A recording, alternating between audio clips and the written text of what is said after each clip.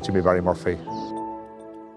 My favourite Laurels memory is Knockrour Slave in 1979 because it was the middle year of a Knockrour Slave fantastic treble. Dennis Lynch won it in 1978 with Knockrour Girl, 1979 with Knockrour Slave, and 1980 with Knockrour Slave.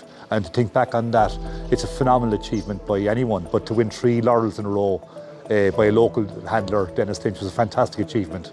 And uh, he was a brilliant dog, and uh, it was really one of my special memories in the Old Western Road track here in Cork. Well, it's a very, very, it's a classic. It's, uh, I suppose, it's our derby here in Cork. We think it's second only to the Greyhound Derby in Shelbourne Park. And there's always been a massive public interest here in Cork around time at Laurels, and uh, always look forward to it.